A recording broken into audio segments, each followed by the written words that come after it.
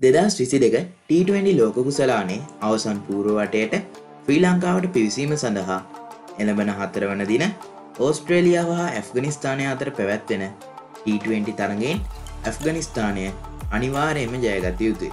එවිට ශ්‍රී ලංකාවට අවසන් පූරවටයට එළඹීම සඳහා විශාල අවස්ථාවක් හිමිවනු ඇත. දැන් පවතින තත්ත්වය වනුවේ ශ්‍රී ලංකාවට යම් සුභාරංජයක් පැමිණ ඇත. එම සුභාරංශය වන්නේ ඕස්ට්‍රේලියාව හා අයලන්තය අතර තරගයේදී ඕස්ට්‍රේලියාවේ ප්‍රධාන ක්‍රීඩකින් තුන් දෙනෙකු ආබාධ තත්ත්වයට පත්ව ඇත. එම ක්‍රීඩකින් තුන් දෙනා වන්නේ ඇරන් ෆින්ච් මාගස් ටොයිනිස් සහ ටිම් ඩේවිඩ්ය මොවුන් තිදෙනා එළමෙන හතරවනදා පැවැත්වීමට නියමිත ඕස්ට්‍රේලියාව හා ඇෆ්ගනිස්ථානය අතර තරගයට ක්‍රීඩා නොකිරීමට වැඩීට ගඩක් පවති.